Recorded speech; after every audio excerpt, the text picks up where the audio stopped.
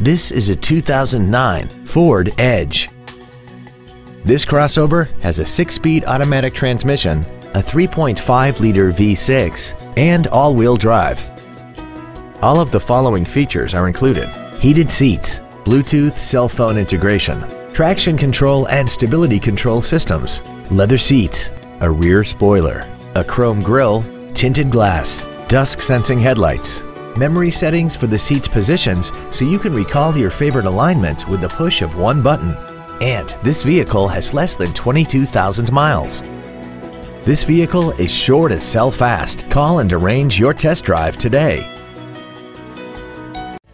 Arlington Heights Ford is located at 801 West Dundee Road in Arlington Heights, Illinois, only five minutes north of the Woodfield Mall, number one in what matters most.